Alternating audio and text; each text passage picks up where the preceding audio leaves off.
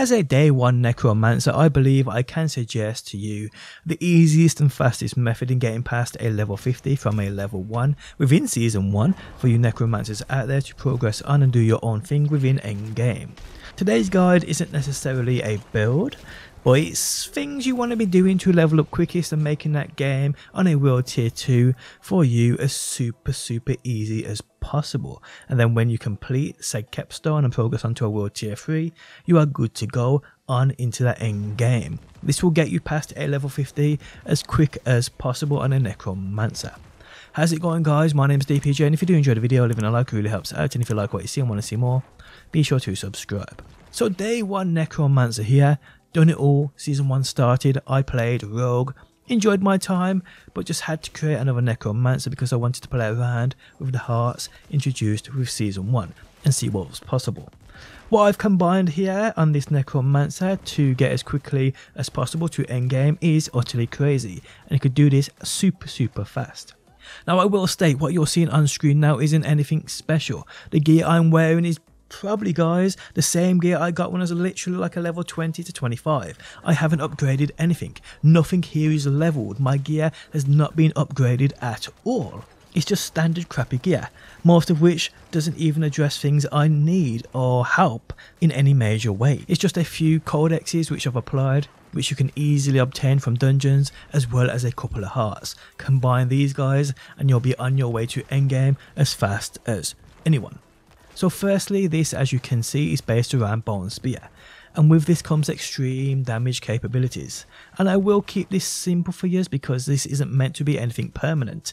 This is meant for leveling with that intention of possibly changing up once you're at the end game to try different things. It's just getting to end game as fast as possible. That's what this is all about. Okay, so we will firstly go over how I've got my skill tree currently set up and where you need to spend those points as you get them. So first up guys, you want to spend into Reap. One into Reap is more than enough because you just want to make your way across to Acolyte Reap. This is important for this build in creating those corpses. Then guys, you want to come down and you want to spend a point, at least one here in the early days into Bone Spear and make your way across to Paranormal Bone Spear. You want, I'd say get to Paranormal Bone Spear before you start ranking this up to that max. But hey, that's what you got to do. Then guys, you need to make your way down to this part of the skill tree here. If that means you need to spend more into bone spear, that's fine. But I'd probably go on unliving energy or and imperfectly balanced, sorry, as well as hewed flesh to make your way down. Don't waste all your points as you get them in these. Just use them to get your way down to this one here. You then guys want to apply corpse explosion. Just one here, that's fine. That's all you need. We don't progress further on here. Also, Blood Mist. This is optional, but I use it because it helps me escape those CCs. But hey, it is optional, like I said. And then again, guys, you need to make your way down to this one. So if you need to spend further on, spend into Grim Harvest, consume a corpse, generate 6 essence. This is actually important. So eventually you want to max these out as well as Fueled by Death, where you deal increased damage for well, after you consume a corpse. These are very important as well. So once you're here, guys, you need to be spending uh, into amplified damage. Again, you deal 12%. This is max. You deal 12% increased damage to cursed enemies. We will be using um, Decrepify, but this will be coming from a heart. We won't actually be having this equipped to our ability trees or anything like that. We just we just got it here. So make sure you have this on. More damage, people. More damage. Again, um, if you need to make your way down, you need to spend more points. Use this one right here. Death Embrace, you, while close enemies take 6% more damage from you and deal 9% less damage to you. Very important on Necromancer. Once we're here guys, you want to spend into Corpse Tendrils as well as going across to Plague Corpse Tendrils because we need that vulnerable people.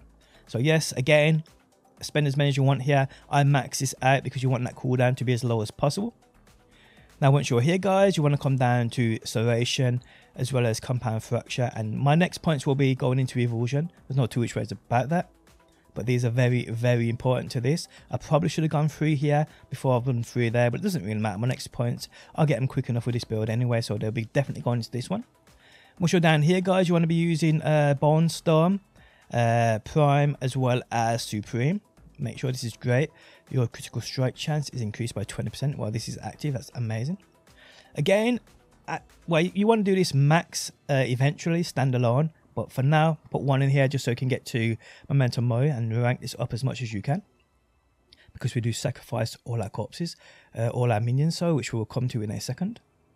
We then go and spend into ossified essence. This is an absolute must, people. No two which ways about that. Okay, so obviously no Paragon board yet because we are not at level 50. Well, in regards to our Book of the Dead, this is fully unlocked around a level 30, I believe. 35 max, I can't remember.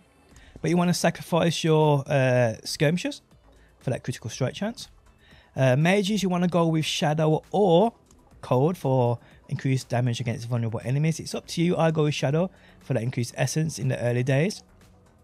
Once you get that better gear with that essence reduction and this, that, and the other, I probably will go down to this one. But hey, for now, do what you got to do.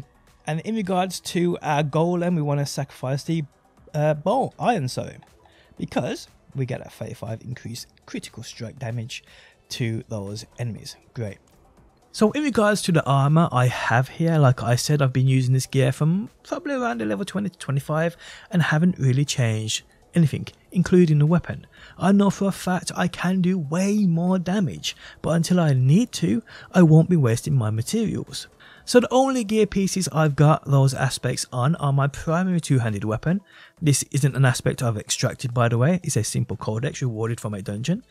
And that's what's great about this leveling build, it requires no farming of those aspects to make it all work. So this codex is rewarded from the Guulrahn Slums dungeon. This is an absolute must for sure. Next up guys we have the amulet.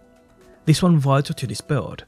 I actually had this drop which was lucky, but for a while I used the codex, which here is rewarded from the corrupted grotto dungeon. And at first ring we have that increased sacrifice bonuses. This codex is rewarded from the ruins of Eridu dungeon. Now on your second ring you can use the codex of critical strikes with bonus skills increase your essence regeneration. This is rewarded from the Black Asylum dungeon. I haven't actually used this at all, but will start for sure. But other than that on my gear, there's literally nothing else for damage output. But what I would recommend is on your helm and boots, you have some form of survivability codexes here. Other important affixes for gear but not a must, movement speed on your boots helps, any form of essence reduction or maximum essence helps, ranks into skills we are using helps, increased bone skill damage is great, intelligence, dexterity, willpower ain't bad either, but to be honest within these early stages nothing affixes wise is an absolute must because this gear you'll surely forget about once that end game arrives. If you can though, I'd recommend a two-handed sword with core damage and vulnerable damage on it. Now in regards to hearts, these make this a leveling build. There's only two really required, you can play around with a third. Now you want the heart which activates Decrepify when enemies are around you. This can go as low as a single enemy trigger, which I haven't seen myself yet, I'm probably too low of a level. But this paired with the amplified damage means you get free damage when surrounded by enemies and it works great. But enemies affected by this also are slowed and deal less damage. More survivability people. You can also once this buff is activated run around and curse many many enemies. Then tendrils them and do even more damage. Take them out. You also want walking near a corpse triggers corpse skills every 1 second. This is a must. And with this guys it triggers that corpse skills from left to right on your skill bar, in that order. So make sure Tendrils is first and Corpse Explosion is second, in regards to those corpse skills. What this does is every corpse we create, and with Reap as well as that hewed flesh we create a lot, it basically means you never actually have to press that Tendrils button. In fact, the first enemy you hit with Reap will also get Tendrils spawned beneath them. This just starts at devastating damage. The Corpse Explosion is only really here to get your essence back, but both Tendrils and Explosion generate that essence for you. And with them doing this every single second without you pressing any buttons, you get quite a lot of essence back. So you although will sometimes run low on essence, you do get it back within no time at all. And that's basically it guys, that is what I've been leveling through a world tier 2 with my Necromancer on. I had absolutely no problems whatsoever, still got plenty of points to spend here, but all I will do is just add it into damage output max out Death's Reach for sure, max out that Evulsion like I said, Standalone for that damage reduction too, and probably Inspiring Leader for that increased attack speed. I may still experiment with Decrepify, see what I can get out of this with that heart, but other than that guys, that's basically it, that's what I've been using, I've been absolutely melting everything. It's got me to endgame. Literally guys, I've probably played a day and I'm at level 42 already and I don't sweat this game. It's super super fast let me tell you. So yes, those are looking to level a Necromancer to that end game to a level 50, so you can take part in that capstone dungeon. try this out and let me know. Again, it's not meant to be a permanent end game build, it's just a leveling build, which I expect for you to change once you get to the end game. But guys, there we have it. If you enjoyed the video, leaving a like really helps out. If you like what you see and want to see more, be sure to subscribe. And hopefully guys, I will see you on that next one.